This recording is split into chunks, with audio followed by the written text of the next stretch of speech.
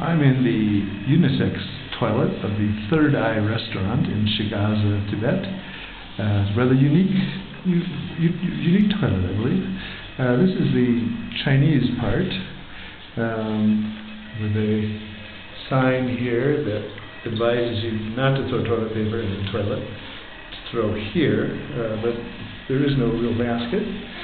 Uh, next, we have a Western style urinal fully functional, and finally a Western style toilet that doesn't appear to be functional. And when you're all done, here is the sink. Greetings from the Third Eye Restaurant.